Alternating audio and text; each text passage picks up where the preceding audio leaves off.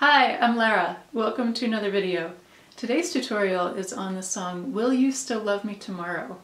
This tutorial is for all levels, so we'll start with a basic beginner strumming pattern, and then I'll show you two other strumming patterns with increasing difficulty, and then we'll also look at a finger picking pattern. So lots of options for how you can play this song. And finally, we'll sing through the entire song together. Next is an image that shows the chord diagrams for all eight chords that are in this song. This is also in the link below in the description, along with the lyrics. So take a look at the image, and then I will show you the fingerings for each of these chords.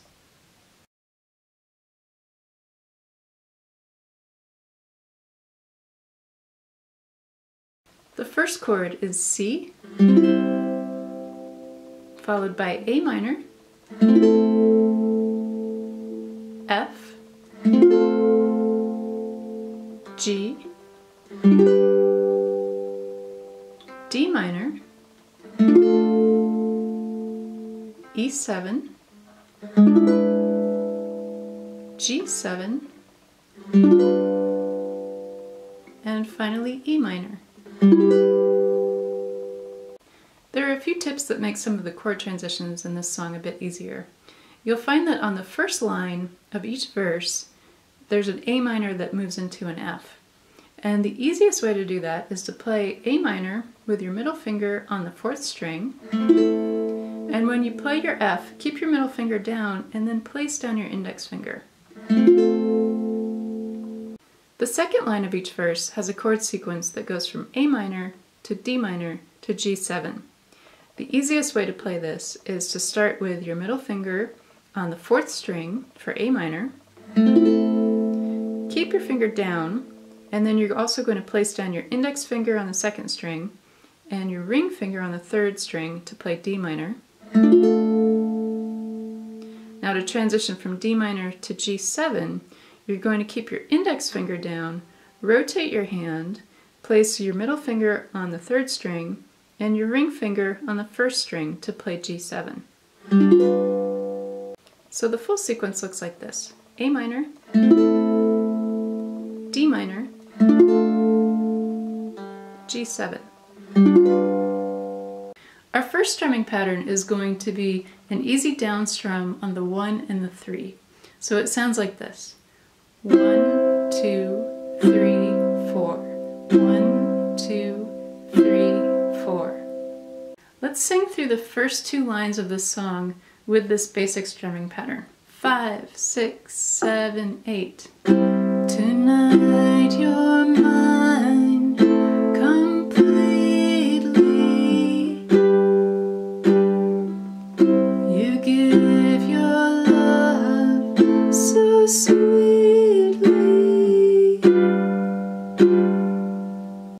Our second strumming pattern sounds like this.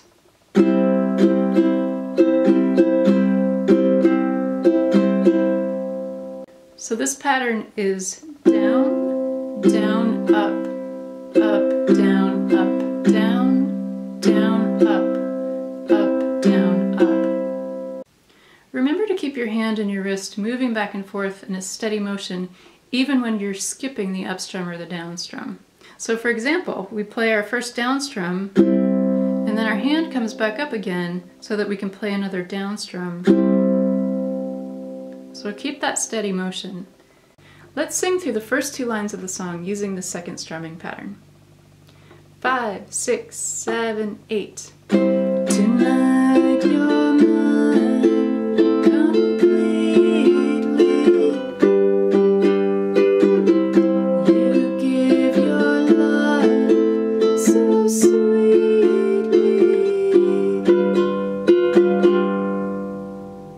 And now for our third strumming pattern. This one is a little more tricky, and I love the way it sounds, so let me show it to you.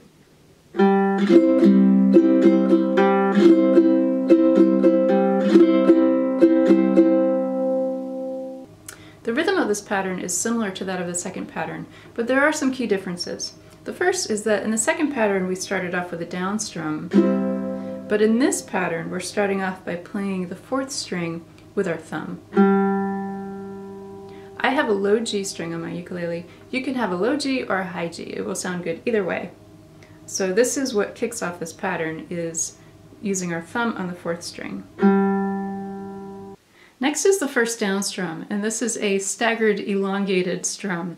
It starts with my ring finger and then middle finger and index. I'm actually using all three for this strum. So here's what it sounds like. You can practice it slowly, one finger at a time, until you get the feel of it.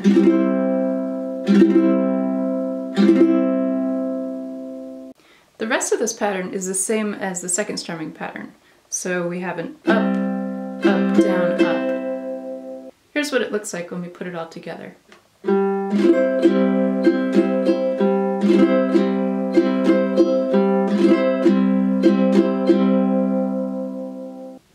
Let's sing through the first two lines of the song using this third strumming pattern. Five, six, seven, eight. Tonight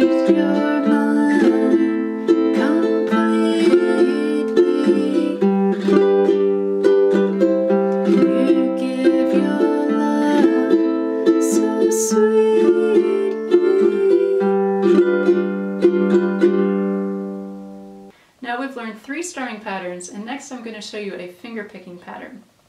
Oftentimes when a song moves from a chorus or a verse into a bridge, the melody takes on a different direction.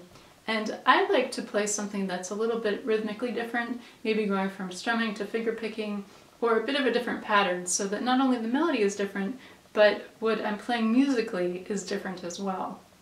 I like to apply this finger picking pattern to the bridge of this particular song, but if you like, you could apply it to the entire song. Here's what the finger picking pattern sounds like, and I'm playing an F chord here.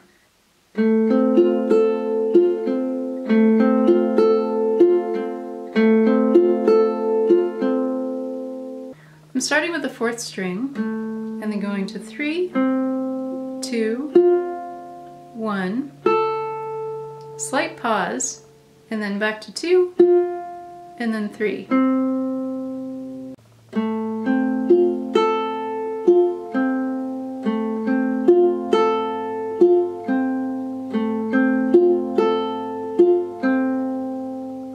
Apply this finger picking pattern to the first two lines of the song. Five, six, seven, eight. Tonight you're mine completely. You give your love so sweetly. Now let's sing through the entire song together. You can use any of the three strumming patterns or the finger picking pattern, or you could mix them up. I'm going to use the strumming patterns on the verses and the finger picking pattern on the bridge. Five, six, seven, eight. Tonight you're